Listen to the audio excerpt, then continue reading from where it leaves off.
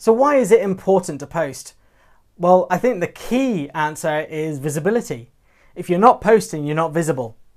It's like not going to a network meeting or not speaking to customers, not picking up the phone. Social media is another tool in which you can market and sell. But if you're not posting, then you're not making yourself visible. Look, you can jump into groups and communicate with people and build up conversations. That's absolutely fine. And that, that is a good strategy to do. But if they go to your business page and they see no posts, where they're they going to get that information from that they're missing? They're going to either need to ask you loads of questions and you're going to need to spend more time than you want trying to sell this person, which might end up not buying, or they're just going to turn away because they can't see the information they want. And they think, well, if you're not using social media, it's like not phoning me. So posting is vital to visibility. And uh, you'll hear people say that you need to be posting 20 times a day. I think Twitter is actually 25 times a day now. Uh, Instagram, they say, should be uh, six times a day. Facebook, twice a day. LinkedIn, once a day. I'm not even sure on TikTok and Snapchat, to be honest, because I don't find those platforms relevant to the people in which I consult with.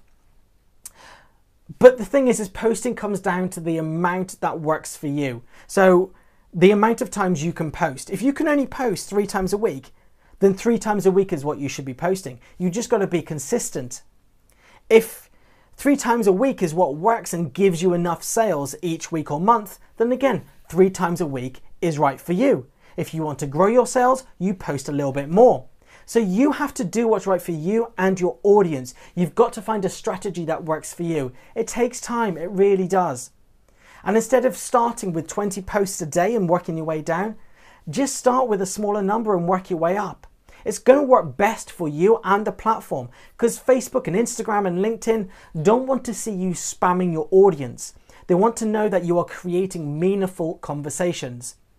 So start small, maybe twice a week, three times a week, and work your way up. If you are working on projects, so if you are, let's say, in the decorating industry and you go and work in a house for a week and then you've got another two weeks off, then don't post for one week and then do nothing for two weeks. Make sure those posts spread over the space of three weeks. So spread them out.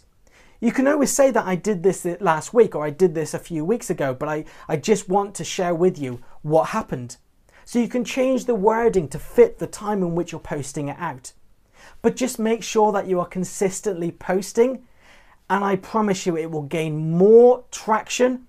And the social media channels themselves will help you with reach and building engagement more than that, what they will by just posting here and there or posting as in, in, a bunch and then not posting for a certain amount of time afterwards. I've met people that say they haven't posted for the last six months. If that's you, if you haven't, then again, build up to it. And you're not going to get traction on the, f- the first few posts or the several posts, the first several posts, because Facebook need to know that you're going to start treating this seriously. And also, again, you're going to want to build up a reputation with your audience. So people aren't going to respond without knowing who you are. Maybe they've forgotten who you are over the last six months. So don't worry if you don't gain traction or engagement on the first few posts. It will take a bit of time to build that up again. It's exactly the same as going to a network meeting. You'll see when you go to a network meeting, this familiar faces that interact and engage with each other, and you kind of feel left out until you've built up that reputation, till people have got to know you. And it's exactly the same on social media. So, building, creating content is extremely important.